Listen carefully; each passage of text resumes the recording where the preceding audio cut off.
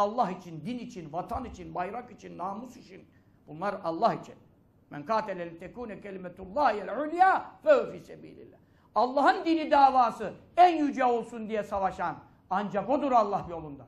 Yoksa cariye alayım, kadın alayım, kız alayım, hanım alayım, para alayım, onu bunu efendim keseyim, onu doğrayayım, onun köyünü basayım. Zındıklar. Allah kahreylesin onları. Allah helak eylesin onları. Hiç onların tutar tarafı yok. İnsanlara zulmeden zalimler bunlar. Birçoğu da kafirler bunlar. Bunlar ne Müslümanı bunlar? Ne dini bunlar? Ne imanı bunlar? Camiyi bombalıyor ya. Kabe yıkacağım diyor. E Medine ellerine geçse işi kubbe indirir Resulullah'ın başına. Sallallahu aleyhi ve sellem. Samimi söylüyorum. Samimi söylüyorum. Zerre kadar acımayın. Faktuluhum katle adin ve irem. Kainatın efendisi buyuruyor. Bunlar hariciler. El havaric kilabunnar. Bunlar Hazreti Ali kafir oldu diye öldüren zihniyettir. Bunlar cehennem köpekleridir. Bunların en büyük düşmanları bizim gibi kişilerdir. Ehli sünnet insanları sevmezler. Onları rastlarsanız At ve İrem kavmini geberttiğiniz gibi katledin diyor emrediyor Muhammed Mustafa sallallahu teala aleyhi ve sellem. Ve ondan sonra ne buyuruyor? Onları öldürmekte öldüren için ecir var. Ve büyük cevaplar var. Onlar tarafından öldürülene de şehitlik var diyor.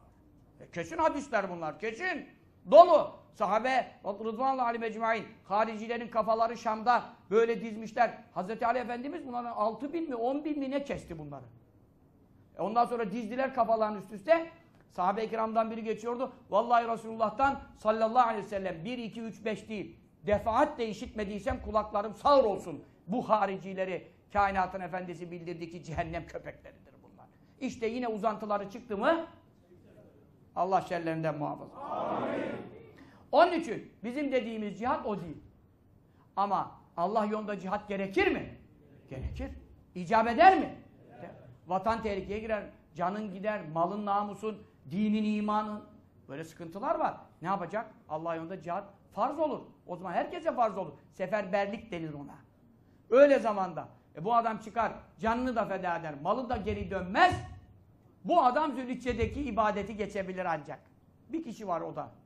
E o zaman gelmişiz bu mevsime daha ne duruyoruz?